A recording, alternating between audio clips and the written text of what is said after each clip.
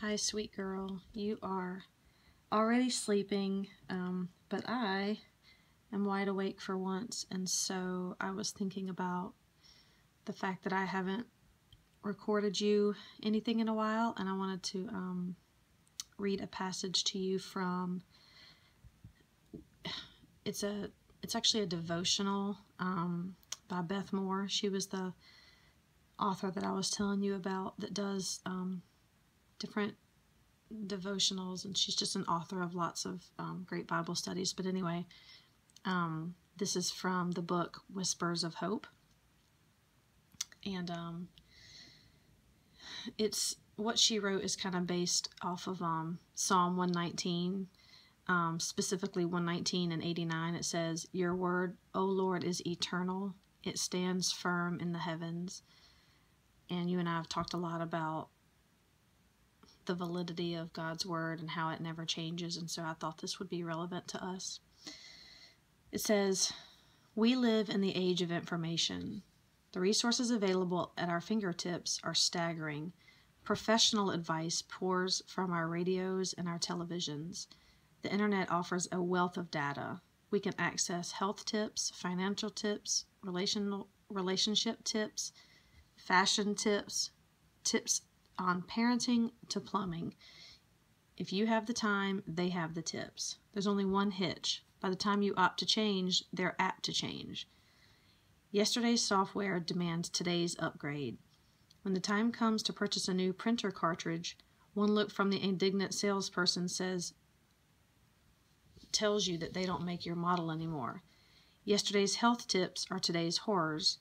We are bombarded by information fluctuation. Are we truly making advances? How should we rear our families? Our parents and grandparents' sound parenting ideas are assaulted by today's experts. We scramble to readjust our methods only to learn that the rules have changed, and before we know it, we'll be the bad guys. And look who's giving us advice. Single talk show hosts offer marriage counseling, and people obviously under the influence provide fashion advice. Scary, isn't it? As the information whirlwind swirls around us, we have an anchor in the Word of God. All the peace seekers in the world can't write a better thesis on community living than the Ten Commandments. All the psychiatrists in the Yellow Pages can't write a better emotional health plan than biblical forgiveness and divine healing. All the financial advisors on Wall Street can't suggest wiser money management than the book of Proverbs. Marital advice, sexual fulfillment, guidelines on business partnerships, how to be single and happy, it's all there. Better yet, it never needs an upgrade. God's Word stands the test of time and was written purposely to pertain to every generation. Why? Because His counsel applies regardless of changes in our lives. My grandmother grew up in the late 1800s. She was reared on the principles in God's Word. She survived the loss of both parents the poverty of the Great Depression, and the death of her husband and three young children by clinging to what she called her testament.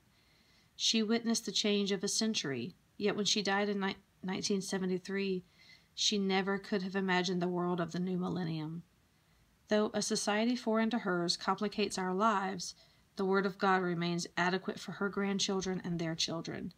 We have no idea what awaits future generations nuclear disaster, cure for cancer, economic collapse, colonization of the moon. We don't know. Times will change, but God's word remains solid. Look to the legacy of timeless advice, to those tips that will last when today's technology is a laugh from the past.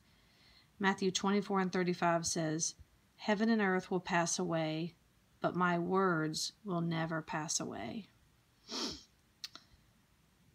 I think we both know that it's just a little confusing sometimes. I love you very much.